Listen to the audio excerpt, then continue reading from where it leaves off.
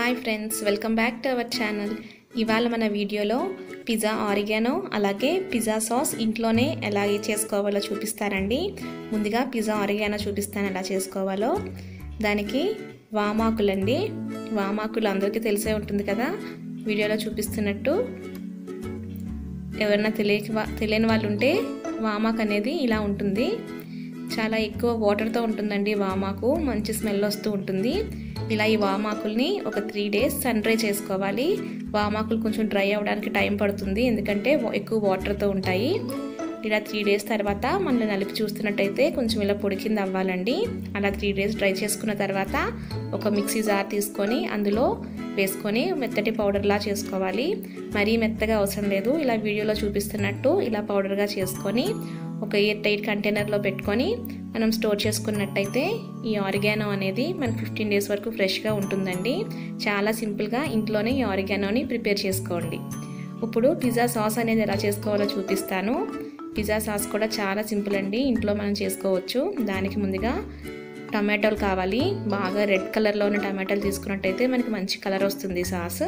అవి కట్ చేసుకొని ఒక మిక్సీ జార్లో వేసుకొని ఒక ఐదు వెల్లుల్లి వేసుకొని మెత్తటి పేస్ట్ లాగా బ్లెండ్ చేసుకోవాలి.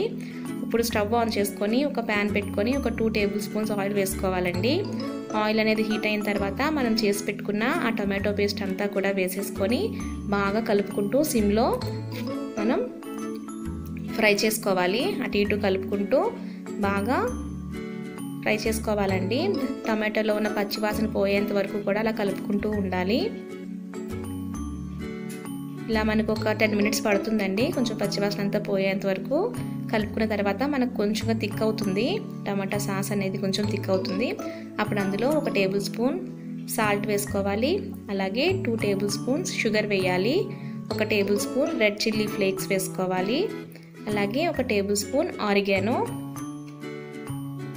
నేను ముందు చూపించాను కదా ఆరిగానో హోమ్ మేడ్ ఆరిగానో అదొక వన్ స్పూన్ వేసుకొని మొత్తం అంతా కూడా బాగా మిక్స్ చేసుకోవాలండి. ఇలా మనం ఇంట్లోనే ఈ పిజ్జా సాస్ అలాగే పిజ్జా ఆరిగానో చేసుకున్నట్టయి చేసుకున్నట్టయితే మనకి ఎప్పుడు కావాలంటే అప్పుడు మనం ఈజీగా ఇంట్లోనే పిజ్జా రెడీ చేసేసుకోవచ్చు. ఒక టెన్ మినిట్స్ తర్వాత మొత్తం కలిపి చూస్తే మనకు బాగా థిక్ అయి ఉంటుంది. అప్పుడు స్టవ్ ఆఫ్ చేసుకొని దించుకొని ఇది బాగా చల్లారిన తర్వాత ఒక ఎయిర్ టైట్ కంటైనర్లో స్టోర్ చేసుకున్నట్టయితే మనకి పిజ్జా అనేది ఫ్రిడ్జ్లో పెట్టుకుంటే మనకు ఒక టెన్ డేస్ వరకు ఫ్రెష్గానే ఉంటుందండి.